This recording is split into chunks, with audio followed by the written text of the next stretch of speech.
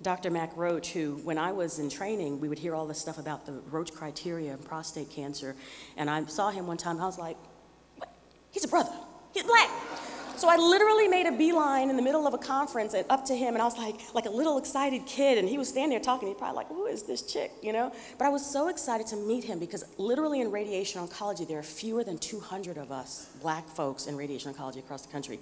And I must say, Dr. Roach has been an amazing advocate for the work that we do um, around encouraging, particularly congregations, but also community work, to the point where um, President Obama actually appointed him to the National Cancer Advisory Board. So it is my distinct pleasure to to invite you, you to listen in to Dr. Roach.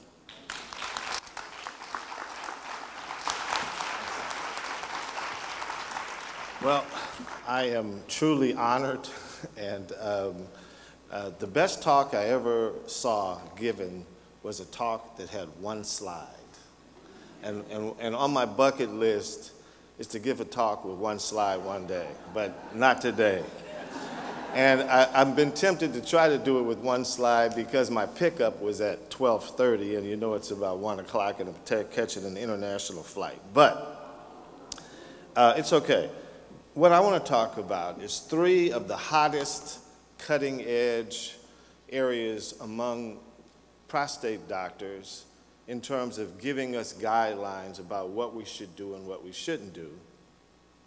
One was alluded to earlier, the U.S. Preventative Task Force, which basically recommended against screening.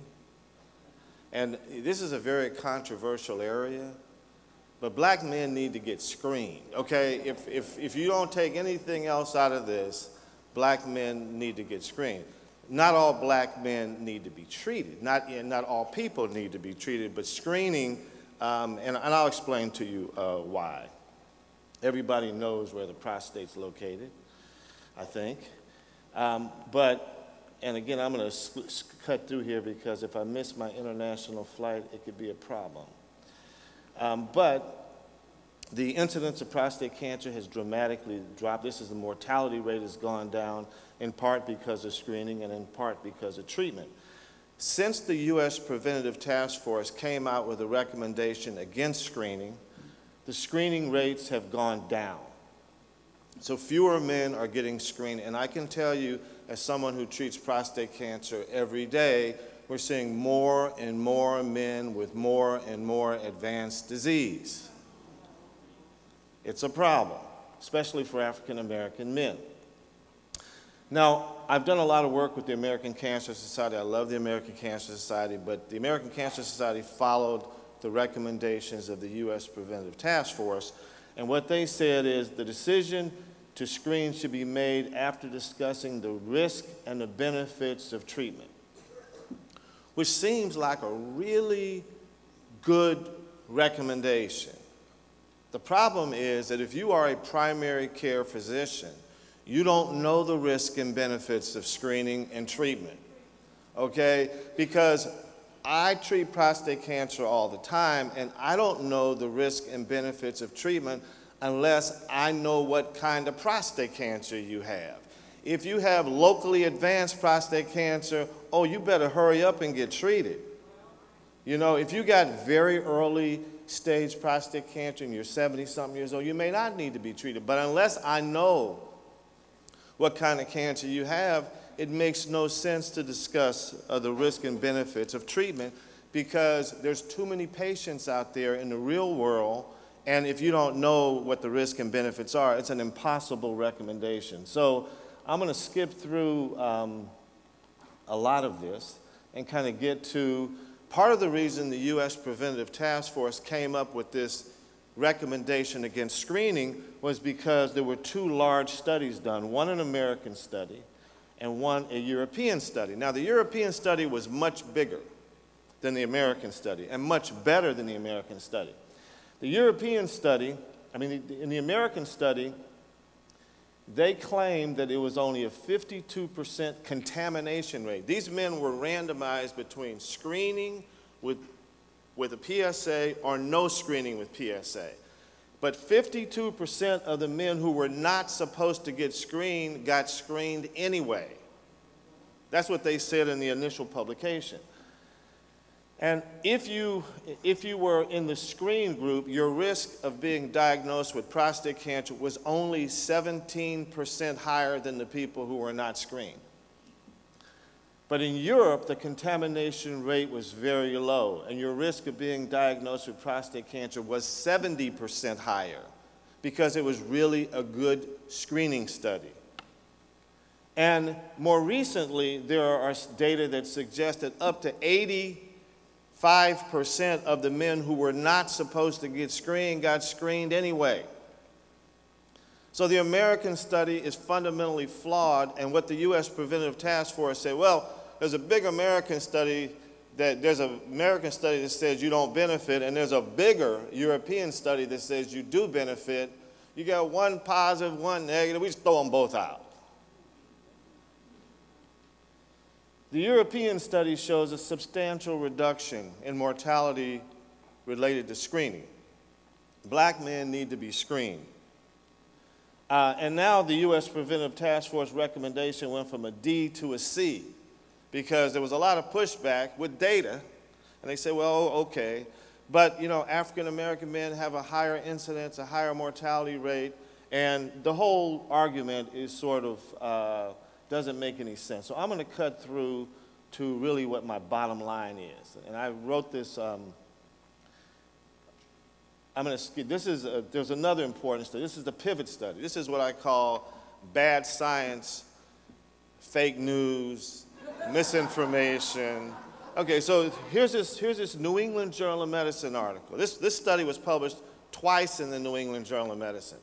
It's called the so-called pivot study, prostatectomy versus observation. And when you read the bottom line in the, in the conclusion, it basically suggests that these men did not benefit from having an operation. In other words, you don't need to be treated anyway for prostate cancer. But this is bad science bad information, misinformation. This study had 700 men. And, but what people don't understand is that these investigators back in 1994 published an article in which they promised to do a study with 2,000 men. And we're going to do a study, we're going to put 2,000 men, and we're going to evaluate treatment versus no treatment. Well, they couldn't get 2,000 men on the study. These are veterans, and veterans are the easiest people to get on the study. Trust me on that. Okay? They could only get 700 men. So they published the study anyway, twice in the New England Journal of Medicine.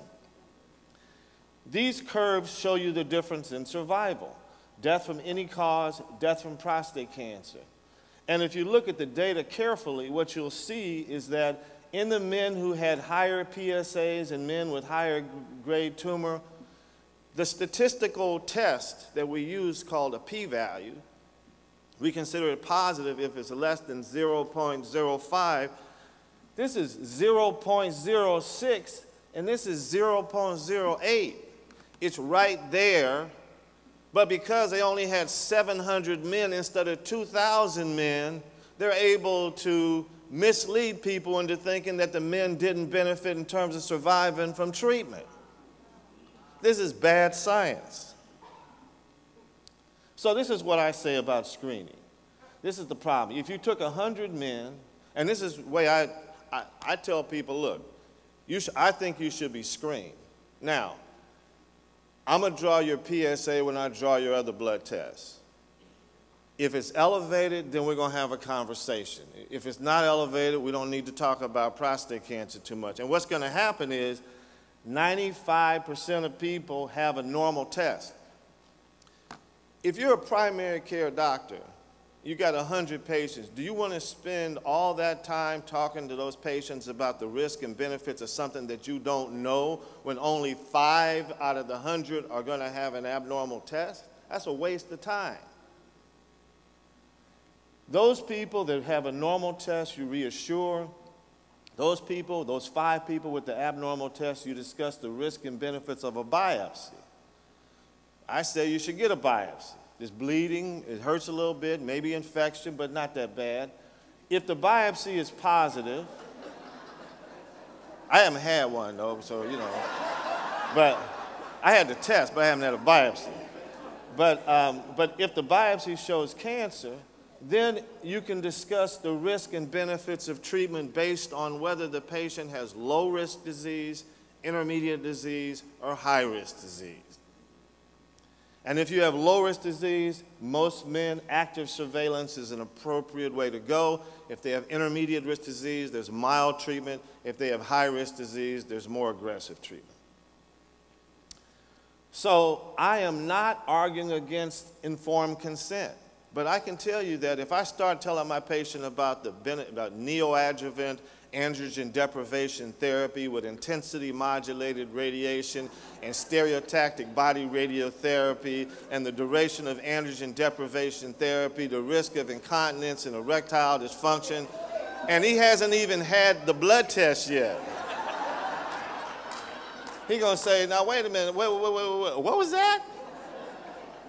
You don't need all that information. You just draw the blood. If it's elevated, then we have a conversation. Okay? Um, I believe in informed consent, but active surveillance is appropriate when appropriate, and evidence based treatment exists. And by the way, radiation is a very effective treatment for prostate cancer. So I think I'm gonna, these are my final conclusions. It's important to screen, decouple you don't automatically treat people because they get diagnosed, but if you don't treat for cure, you won't cure those you treat. Thank you for your attention. I apologize. I'm about to run off the stage and catch my plane, but it, I was truly honored. I felt a little bit guilty this morning because I was rocking in the front over here, and, and I was trying to figure out if I was in church or at a conference or whatever, and it felt too good to be at a conference. But thank you for your uh, invitation.